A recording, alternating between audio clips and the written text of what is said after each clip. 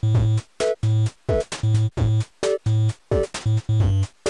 everyone, it's Glory from Byte Camp. Welcome back to our Villager Dungeon Nightmare platformer game series in Godot.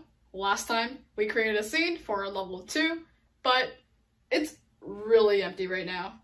Remember back in our level 2 intro video, there's an entire world made of bricks and lava tiles. So, in this video, I'm going to be showing you how to create a tile map for our bricks, and how it's going to work is that I'm going to be separating the bricks picture into individual tiles and as well as giving them a collision box so the villager can actually bump into the bricks and not simply being able to pass right through them. There's a couple steps to do it, so let's jump right into it. Alright, back inside Godot. Hold on, this isn't the great empty level 2 scene I was just talking about. Well, when we open up Godot to edit, Godot automatically opens the main scene, which in this case is the starting screen. So to open up the empty level 2 scene, I need to go over to the top left hand corner and click on scene and go down to open scene, double click on my level 2 scene, and voila! Here's my gray empty blank level 2 scene. And now I need to add in the tile map for the bricks. So under scene, add a new child node, I need to look up tile map and I'm going to rename it to bricks. Now over to the inspector, I need to click on empty and new tile set, click on tile set, and at the bottom, the tile set menu should pop up. I need to drag my bricks into this gray box. So left click and drag it in, and now it's in. To make a single tile, I need to click on new single tile, and next to the mouse pointer under region, I'm gonna click on this magnet looking thing and as you can see, a grid pops up. To make these grid squares the same size as my brick tiles, I can select any of these squares.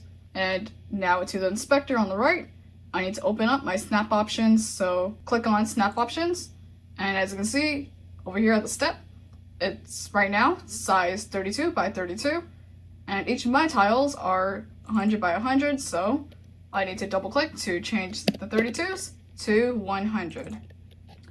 Now, as you can see, the squares are now much bigger and fit my tiles. Re-click on the square, and as you can see, this yellow outline indicates that you have now made this a tile. And to make the rest of these tiles, I need to do the exact same thing. Click on new single tile, and click on a grid square, and so on new single tile, click on a square. And now to actually add a collision box so that the villager actually bumps into the bricks, I need to click on collision next to the region. And to make my life so much easier, I'm going to click on this square and click on a tile. Do the same with the other one. I don't need to hit collision again, so I need to press on the square, double click on this tile next to it, and the next one, click on the square, double click, click on the square, double click. There we go. As you can see, the blue square covers the entire tile. That means the collision box is the size of the entire brick. And now if you click on bricks inside the node tree, on the right, next to the inspector, here are the four bricks. And there you have it. We now have the building blocks to build our world.